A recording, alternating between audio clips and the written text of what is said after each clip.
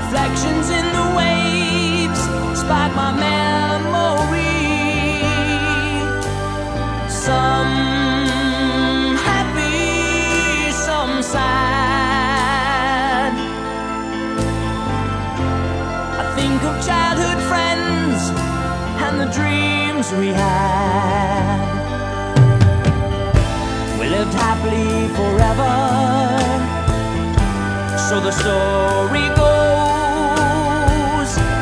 But somehow we missed out on the of